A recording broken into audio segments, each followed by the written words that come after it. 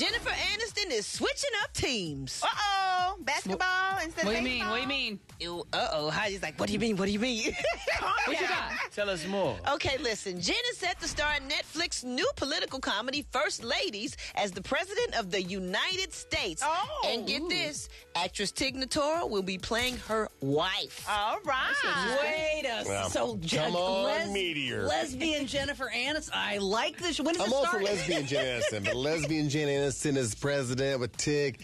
I can't really buy. I can't really buy Tig Notaro being Jen Aniston's first lady. Why?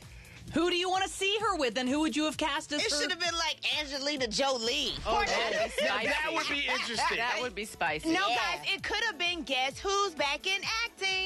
Portia de Rossi. I saw her in a movie the other day. She had short hair just like Ellen, and she was playing like this real serious role. She could have been the wife. Well, the film will follow America's first female president and her wife as they move into the White House and prove that behind every great woman is another great woman. Woo, sister!